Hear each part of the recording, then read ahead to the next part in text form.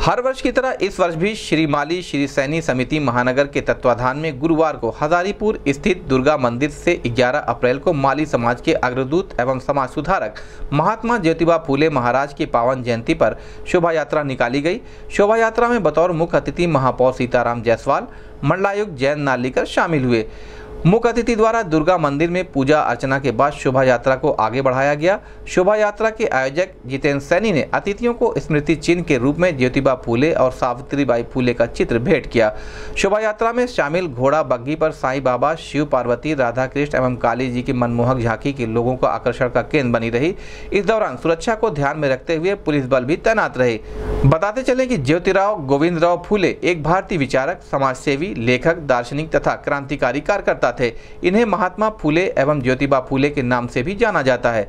ज्योतिबा ने ब्राह्मण पुरोहित के बिना ही विवाह संस्कार आरंभ कराया और इसे मुंबई हाई कोर्ट से भी मान्यता मिली। वे बाल विवाह विरोधी और विधवा विवाह के समर्थक थे। उन्होंने विधवाओं और महिलाओं के कल्याण के लिए काफ़ी काम किया।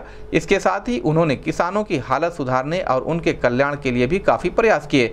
स्त्रियों की दशा सुधारने और उनकी शिक्षा के लिए ज्योतिबा ने एक स्कूल खोला। यह देश का पहला विद्यालय था। लड़कियों को पढ़ाने के लिए अध्यापिका नहीं मिली तो उन्होंने कुछ दिन स्वयं यह काम करके अपनी पत्नी सावित्री को इस योग्य बना दिया। इस अवसर पर शोभा यात्रा में राहुल श्रीवास्तव, बिंदा सैनी, कृष्ण गोपाल, गजेंद्र प्रसाद, पारसनाथ, विजय, अजय, संजय सहित सैकड़ों की संख्या में सैनी समाज के लोग शामिल हुए। इस संबंध में गोरखपुर न्यूज़ संवाददाता से बात करते हुए आयोजक जितेंद्र सैनी और मंडलायुक्त जैन नालीकर ने कहा।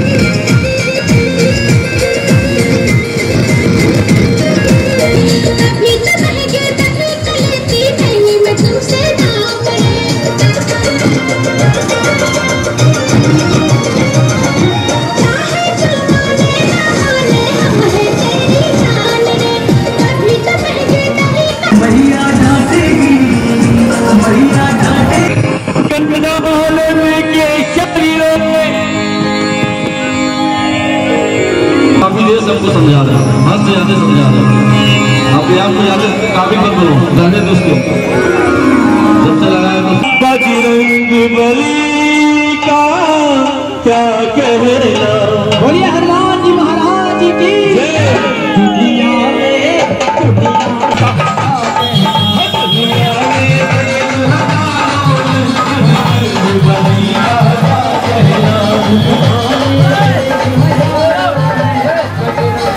महात्मा ज्योतिराव फूले की आज जयंती पूरे देश भर में मनाई जाएगी, मनाई जा रही है। ये सामाजिक क्रांति के अग्रदूत थे और समाज सुधारक थे। महिलाओं के प्रति इनका बहुत ही महिलाओं के प्रति इनकी बहुत ही वो थी कि विधवा महिलाओं को शिक्षित किया जाए, समाज आगे बढ़े, महिलाओं को शिक्षा दिया जाए और इनके जो विरोध होती है महिलाओं का उस हर तरह के विरोध का इन्होंने विरोध किया था और महिलाओं को आगे बढ़ाने का श्रेय और देश में पहला कन्या विद्यालय खोलने का श्रेय माता फूले जी को जाती है, जाता है। और इनकी पत्नी सावित्री फूले ही पहली शिक्षिका थी। देश की पहली शिक्षिका थी कन्याओं के लिए। तो ऐसे समाज सुधारक हम लोग जयंती आज एक जयंती मना रहे हैं। आज मुझे अत्यंत प्रसन्नता है कि आज मेरे मंडल में आज महात्मा ज्योतिबा फूले की स्मृति में एक शोभा यात्रा निकाली जा रही है और इस शोभा यात्रा करते वक्त सभी जनमानस को ये मैं स्मरण कराना चाहूँगा कि महात्मा ज्योतिबा फूले का सबसे ज़्यादा ज़ोर जो था, वो महिलाओं और छात्राओं और बच्चियों की शिक्षा पर था। और इसलिए यहाँ से मैं आपके माध्यम से ये संदेश देना चाहूँगा कि हमारी जो महिलाएँ हैं, जो बच्चियाँ हैं, उनकी शिक्षा पर हम बहुत ज़्यादा ध्यान दें।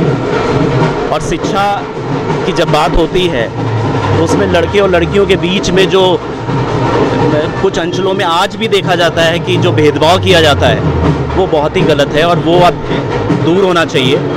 और सही अर्थ में हम महात्मा ज्योतिबा फूले को तभी एक श्रद्धांजलि दे पाएँगे जब हम समस्त समाज की, सिर्फ़ हम माली समाज की बात नहीं कर रहे हैं सभी अंचलों में, सभी समाजों में, सभी जगह हम महिलाओं और बच्चियों की एजुकेशन पर बहुत ध्यान देंगे और उनको हम जैसा हम मेल्स के साथ करते हैं, उन्हीं की तरह उनकी शिक्षा पर हम गुरुत्व देंगे और सही अर्थ में तभी एक समतामूलक समाज की स्थापना हम कर पाएँगे। धन्यवाद।